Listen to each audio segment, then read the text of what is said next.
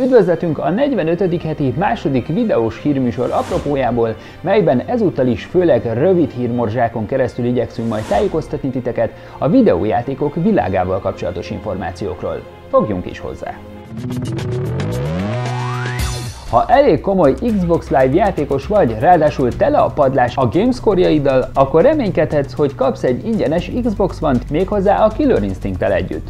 A Microsoft egyre jobb arc akar lenni, ezért bejelentették, hogy a jövőben pár igazán komoly játékosuk ingyen megkaphatja a Next Gen masinájukat, plusz egy játékkal karöltve. A szerencséseket e-mailben értesítik.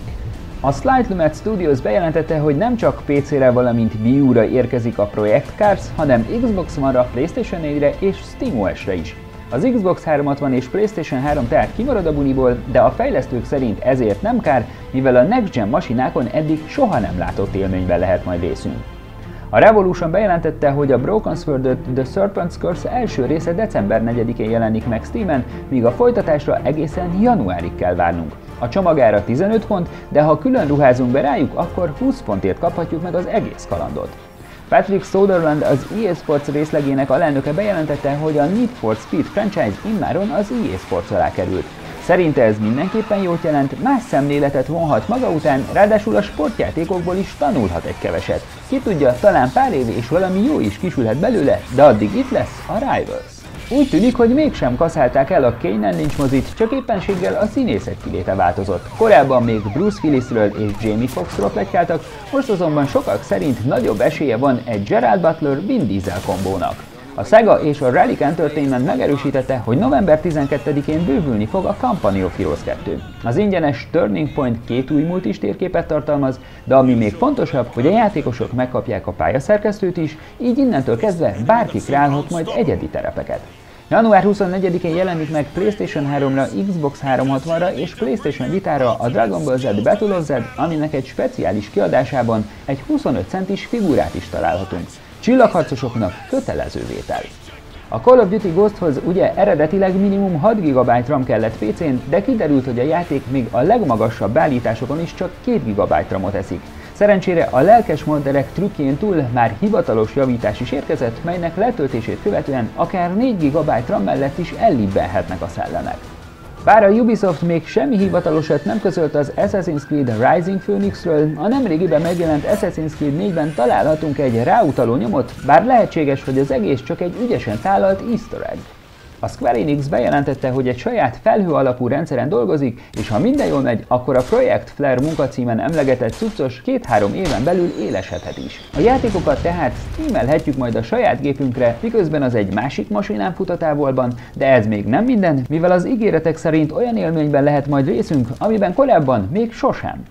2014 tavaszán jön lehet meg PlayStation 3-ra és Xbox 360-ra, később pedig PlayStation 4-re és Xbox One-ra a Metal Gear Solid 5 Ground Zeroes, ami egy amolyan felvezetésként fog szolgálni a közelgődő Phantom Pain előtt. A történet szerint Kubában kell majd lopakodnunk Big Boss-szal, feladatunk pedig egy ismeretlen személy kimenekítése lesz. Testsofőröket keres a Codemasters a következő projektjéhez, ami sokak szerint a Grid 3 lehet. Elmondásuk szerint nagyon fontos nekik a közösség véleménye, és rendszerint a Grid 2-t hozzák fel példának, ráadásul a jelentkezéshez mellékelni kell egy pár mondatos véleményt is a játékról. A Dead Rising 3 fejlesztője megerősítette, hogy ha telepítjük mobilunkra a SmartGlass alkalmazást, akkor a játék közben felhívhat minket az egyik karakter, hogy jó tanácsokkal, küldetésekkel és tippekkel halmozzon el minket. Egyes küldetéseket is csak így érhetünk majd el, de a végigjátszáshoz nem feltétlenül szükséges ezek teljesítése. Bár a korábbi Forzában jóval több járgány kapott helyet, ez a Tömten csapatát nem nagyon zavarja. A játék direktora Dan Greenwald elárulta, hogy nem akartak feltupírozni semmit, ezért inkább ráfeküdtek a melóra, és nulláról építettek újra mindent. Ennek hála a kocsik szebbek és élethűbbek, mint valaha, cserébe viszont csak 200 darab lesz belőlük, de ugyanezen megfontolásból a pályák száma is apadt egy kicsit.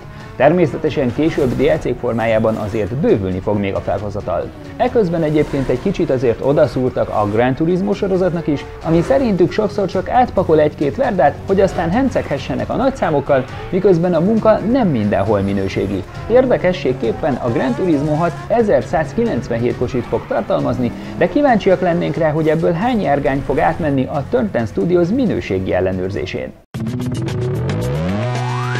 Érkezett pár info a Valve Steambox-ával kapcsolatosan, mi szerint a Valve-nak nem célja felvenni a versenyt a Next Gen konzolokkal, ők inkább azokra a felhasználókra koncentrálnak, akik már korábban is használták a Steam-et.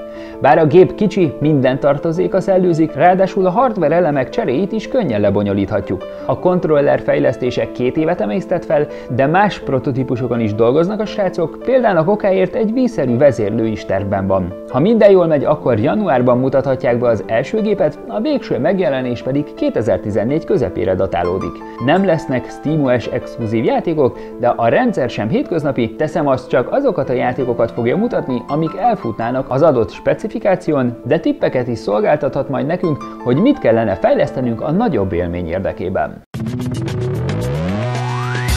Az Activision Blizzard is közzétette az elmúlt negyedévre vonatkozó üzleti jelentését, és bár az idei adatok elmaradnak a tavalyihoz képest, elmondásuk szerint ez teljesen érthető, lévén egy évvel ezelőtt épp a Diablo 3 ostromolta az eladás listák élét, és megtudtuk, hogy eddig 14 millió talált gazdára belőle.